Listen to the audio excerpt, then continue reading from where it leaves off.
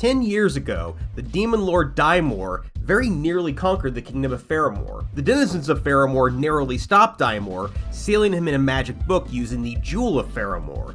Now, thanks to a traitorous noble, Daimor has been set free to terrorize the kingdom once again.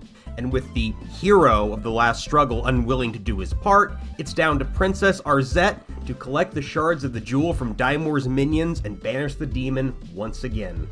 For this game, we really need to start with the visuals.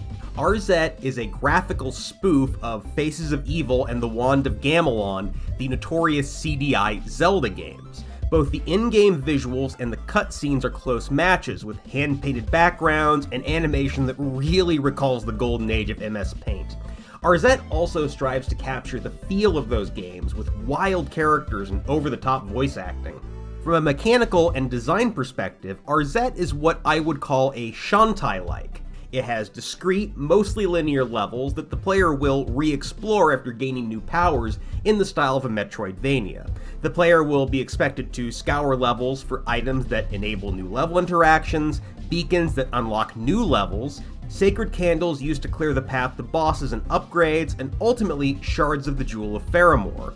The way the game controls is very old school, and it may take a bit to get used to, but the game is overall very forgiving and should offer a respectable but reasonable challenge to most people.